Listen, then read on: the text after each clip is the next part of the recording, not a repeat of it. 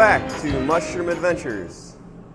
In this episode, I'm going to talk all about using the casing mix on top of your sawdust blocks to improve results.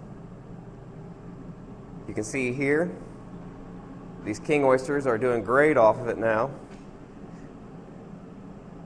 I've been picking um, right at two pounds on the first flush.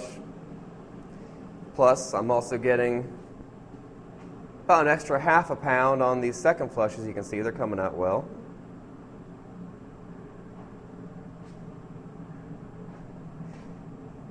And then I even have third flushes start out on some of these.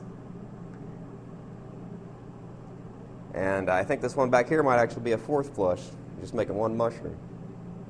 So you can see they're lasting quite a bit longer without uh, mold problems creeping up. Although I can tell when I start seeing mold get under this, uh, underneath the casing layer where there's some dead mushrooms from uh, old tissue still there. When it starts getting moldy around there pretty bad, I start checking it or chuck it outside to the compost pile. But as long as there's that casing mix on top, it keeps the uh, mold spores from getting out into the surrounding air. So as long as it's producing mushrooms, I'm going to keep it down here and see how long I can keep it going. You see also too, I have some new ones here. Very prolific. Now I have suggested to put your blocks down in the basement as early as day 10 when they're fully colonized, but now I'm waiting about 14 days before I put the blocks in. Um, I was getting some meager results, kind of like you can see maybe, uh,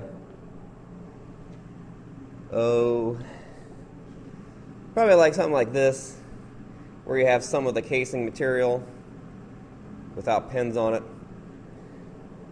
Um, also, too, I uh, was kind of putting it down here when the casing wasn't fully colonized. But now, since I've waited 14 days to case it, and then waited about a full week to put it down here where the casing is completely colonized by the mycelium, it's producing uh, much better results with uh, many more pins covering the top. So you can, you can see what I'm talking about here where you have a little bit of thinner colonization at the top. So make sure your casing mix is well colonized and that your blocks have plenty of time to sit around in the mycelium to digest and get a hold of the sawdust and mixture. Something else too that I should mention, but I've noticed that uh, my lion's manes here are working out as well as the pia that I had because I'm growing them on the same recipe as these king oysters, which is just too much nitrogen. The oyster mushrooms love the high nitrogen recipe, but you want to use the, the basic just cottonseed meal or bran recipe for uh, pretty much all the other mushroom species unless I uh, discover otherwise. But you know, I keep experimenting, finding the the best combination, pushing the limit. That's what I want to do. So I'll give you updates as we go.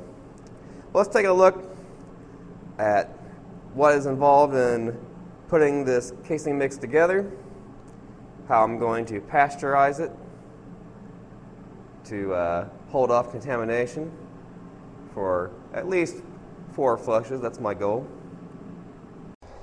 So this is what our casing mix is made of. We have sphagnum peat moss.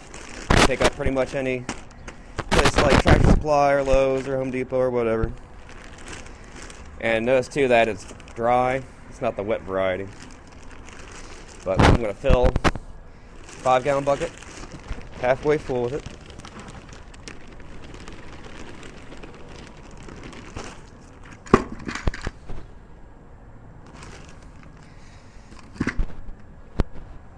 And then the other half I'm going to use vermiculite.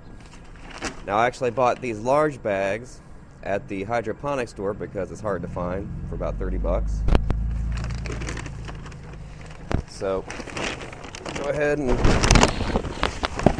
fill that up.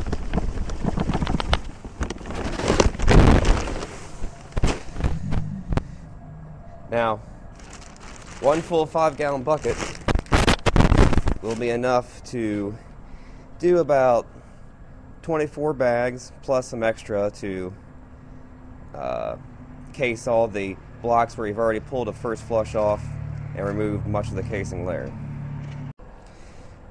Now I recommend do this part outside because the vermiculite and peat moss is very dusty and I'm sure it's not good to breathe in, although both are safe. So I'm gonna pour that. You can see why I put the peat moss on the bottom. It's because it'll cover up that dusty vermiculite. So to this we're going to also add two tablespoons of our, you see here, our hydrated horticultural lime, the same stuff we used for our lime pasteurization of the cottonseed hulls or whatnot. And just get two generous tablespoons and sprinkle it over the top. Like so. And what that will do is add another level of protection besides just the heat pasteurization. And I really haven't had any mold problems with the casing mix itself doing it uh, this way with the lime and the heat pasteurization. So we're going to mix this all up with some hot water and see what we get. We're going to start off adding one gallon of tolerably hot water to this dry mix, just so that when we mix it up, it's not flying dust everywhere. But it'll still stay dry enough to work with. If you just added the water all at once, it would get too soupy in areas and the vermiculite would probably soak up more water than the peat moss and it would get a little uneven. It'd probably still end up uh, how you want it, but this is a better way of doing it. So fill up one gallon of tolerably hot water.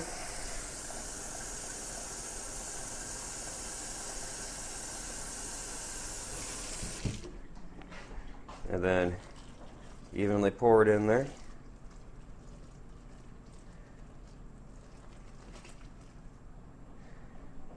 Will quickly soak it up. And then I just take my hand and work it around from the corners to the center.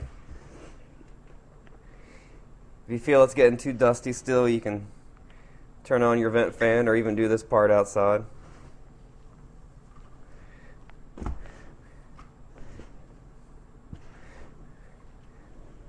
And what you're looking for is all that vermiculite to be evenly spaced around.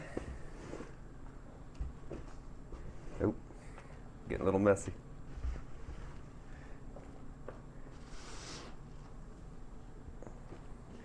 It doesn't have to be perfectly mixed because you're still going to mix it up again when you add more water.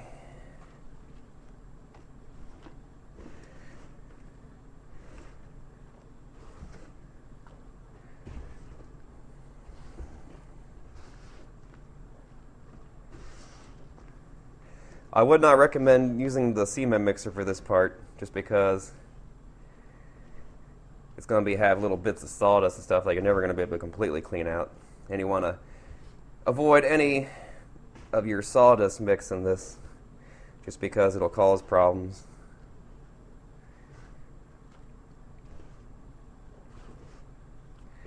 That's good for the moment. Then to that, I'm going to add another one gallon and then an additional three quarters of a gallon. So we're going to have a total of two and three quarter gallon worth of water in this uh, mix. Now, of course, if you're using less or maybe even a larger bucket, you're going to have to figure out how much water you're going to want. But you'll see what the end result looks like, and as long as it has that level of hydration, that's what you want.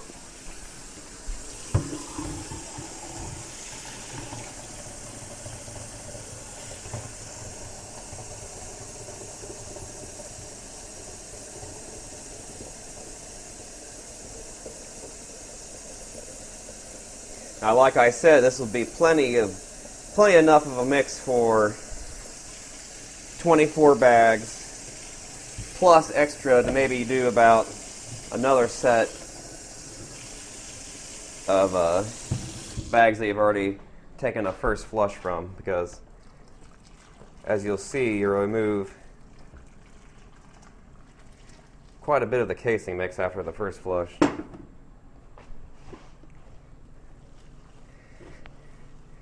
Now it may seem a little bit soupy and you may actually have a, a tiny bit of standing water at the bottom, but that's alright because once we cook it it's all going to soak in evenly and every time I've cooked it where it seemed to be too wet at the start it actually ends up uh, drier than I wanted at the end and have, I have to add extra water as you'll see.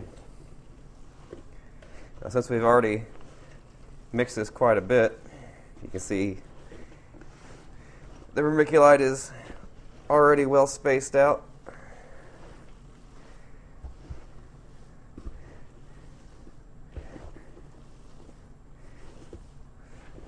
Notice too that I added that hydrated, hydrated lime at the start. If you added it now, it would not mix up well at all.